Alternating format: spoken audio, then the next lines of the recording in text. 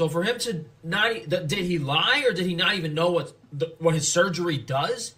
The second lie, and probably a more significant one, that ultimately led to me getting botched. Because if Dr. DeBon was truthful, I wouldn't have gotten the procedure.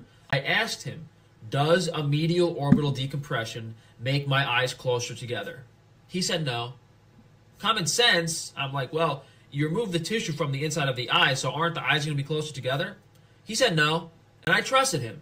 But if you Google medial decompression, every study said There's a difference between going on Google and actually going to medical school.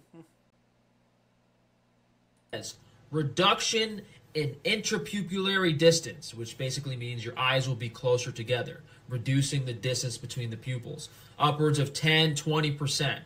So for him to not, did he lie or did he not even know what the, what his surgery does? Because if I knew that at all and saw those studies and he was actually informing his patients of what the, the surgery does, I would never have gotten it under any circumstance.